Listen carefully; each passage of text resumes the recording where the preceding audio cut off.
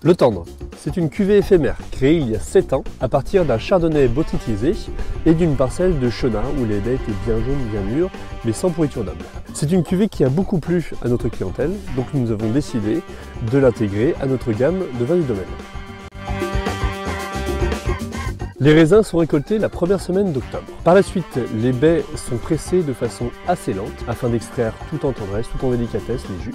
Pour arrêter la fermentation, on utilise la technique de centrifugation qui nous permet de diminuer l'utilisation de SO2. Le tendre est un blanc demi-sec avec un taux de sucre de 35 grammes. En bouche, vous allez avoir la typicité des deux cépages, le côté gras et structuré du chardonnay et la finesse et la vivacité du chenin. En dégustation, vous allez retrouver le côté euh, fruits frais et croquant des deux cépages, le côté agrumes et abricots du chenin et le côté pêche jaune du chardonnay. Le tendre sera le parfait compagnon d'un after work en terrasse entre amis ou d'un dîner romantique. Un véritable terrain de fraîcheur.